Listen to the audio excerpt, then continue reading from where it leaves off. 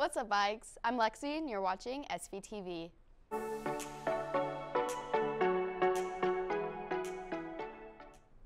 Snowball is tomorrow from 8.30 to 10.30 p.m.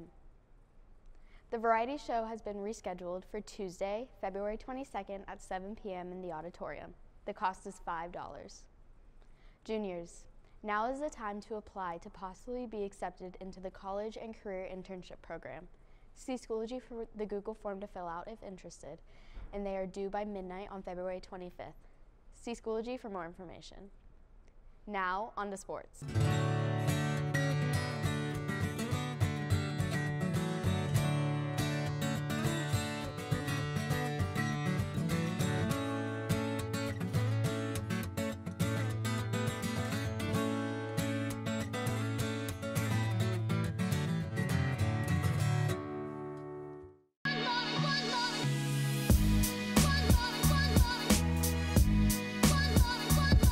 Friday's theme against Lansing is red carpet.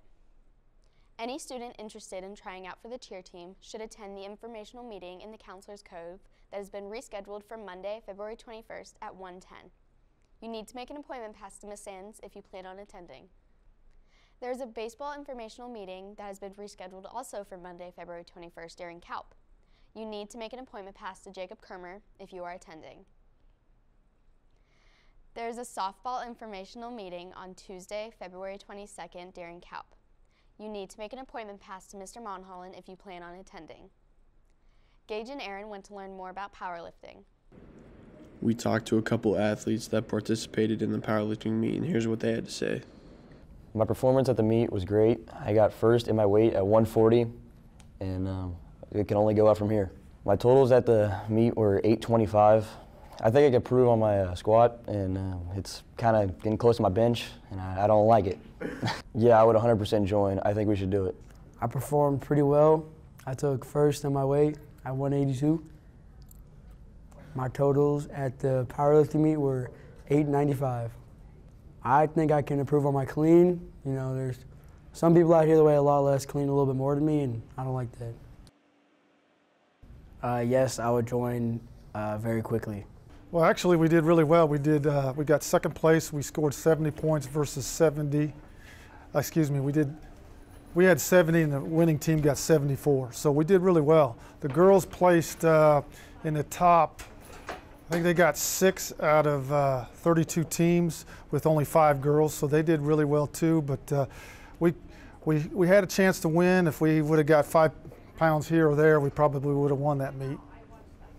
There was a whole bunch throughout the year, but most of them are, have come and gone. There is a state uh, powerlifting meet in Pittsburg, Kansas for 5A.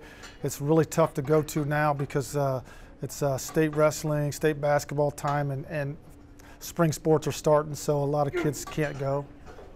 We've always had a powerlifting, uh, powerlifting team. We just couldn't get kids to go and we, we decided to do a virtual to see if kids would be interested and, and kind of get a feel and figure out it's not as bad as they thought.